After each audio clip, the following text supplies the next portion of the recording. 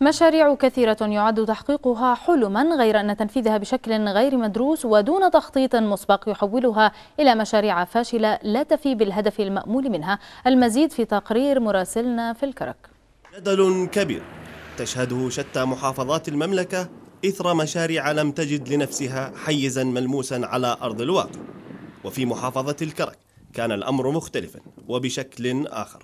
فالمشروع الذي حلم به المواطنون على مدار سنوات كان له أن ينفذ ولكن بتخطيط عن بعد كان نتاجه مجمع خال من المركبات والمواطنين. أعتقد أن بعض المعاناة التي تعاني منها محافظة الكرك التخطيط عن بعد حيث الكثير من المشاريع التي تتم إنشائها في الكرك أو تنفيذها تتم في عمان وتنفذ في الكرك دون بحث الاحتياجات الحقيقية في مدينة الكرك أو في محافظة الكرك ولا أدل على ذلك من مجمع الباصات الجديد. بالنسبة لمجمع السفريات فهو عبارة عن مشروع فاشل جدا أثبت جدارة فشله 100% آه، صار عبارة عن ملم للهمل.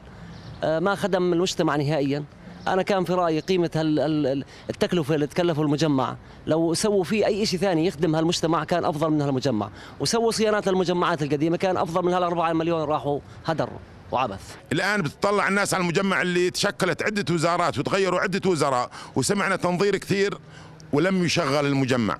مطلوب تشغيل المجمع.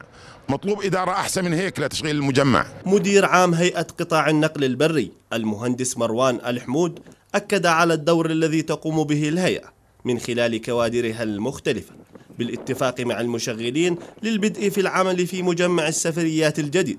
والذي أكد على أنه سيبدأ العمل به بفترة زمنية لا تتجاوز الشهر. إحنا كمان برضو كمان في عندنا آه، خطة لدعم آه، آه، إن شاء الله طلاب اللي بيستخدموا هذا المجمع.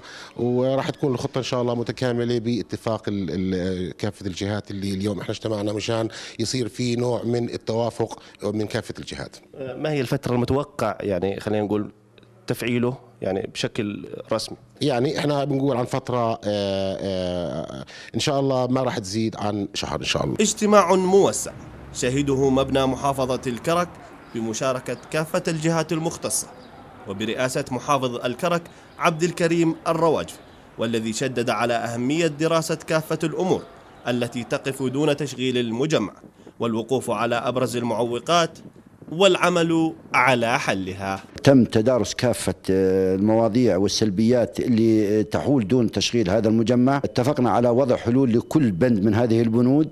آه، إن شاء الله سيتم معالجتها كل دائرة ضمن اختصاصها الهيئة ستقوم بتغيير آه، خطوط الداخلية حتى يتم رفت هذا المجمع بخطوط آه، سرفيس من آه، المجمع حتى جامعة موتي وأيضا من مجمع موتي حتى البلد آه، مركز المديني. مشاريع تخلو من الدراسة والتخطيط تخلف مجمعا بكلفة أربعة ملايين دينار.